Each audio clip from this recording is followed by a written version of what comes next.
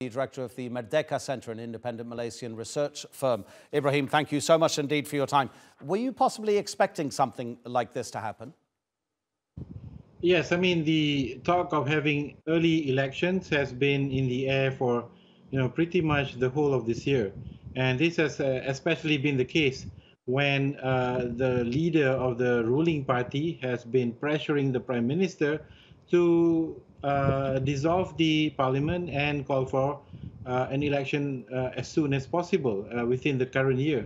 So we've been waiting, and uh, now that it has materialized, so we will see how it goes. And how much do you think this is due to, I don't know how to describe it exactly, the pride maybe of that largest political party? Because it had held power for most of the past few decades in Malaysia. Of course, then there was a reversal of its fortunes, and now it's been back in power. Is this really about that one party, or is it something else?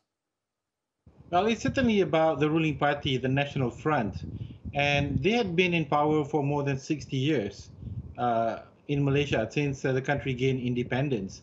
And the uh, insistence on having this early election largely stems from you know their recent experiences. They have been winning uh, state level or provincial level elections uh, in the early part of this year, and they've performed very well. And the intention is to ride on the momentum of those small victories and capture the national parliament. At the same time, it is also to try and get this election done before the opposition parties begin to cooperate with one another.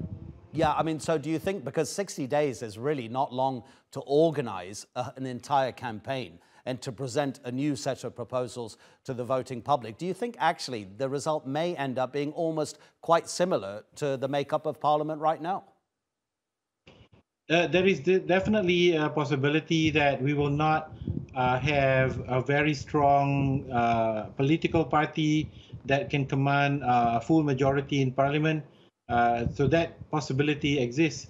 And therefore, you know, we're looking at a possibility of a post-election coalition uh, comprising of either the National Front, if they perform well, with parties coming from East Malaysia. So there is one possible scenario. But you know, within the next uh, several weeks, uh, as the country heads into the polls, there are still a lot of uncertainties because the opposition parties that have been in loggerheads over the last couple of years, they could somehow find a way to cooperate and come together. And that could alter the results significantly. Ibrahim Suffian, really appreciate the analysis. Thanks so much.